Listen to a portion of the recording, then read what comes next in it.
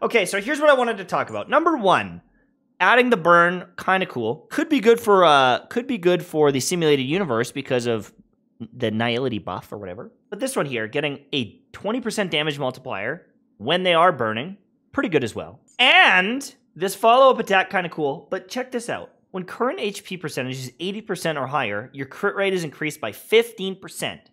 That is like five rolls of crit rate. Five good rolls of crit rate thrown onto your kit.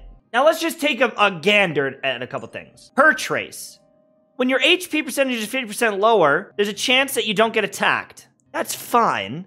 But most enemies and big bosses in the game are AoE. So does this really add a lot of value? Quantum penetration? This one is very good. Let's just be honest. This one is pretty juiced. Can't cry about it. How about her final one? After using a basic attack, her action forward is advanced 20%. Like, this one is not this insane thing because, why? A lot of the time you use your skill. Like, you use your skill a lot with her. So, how often does this proc? You know, Himeko's procs all the time.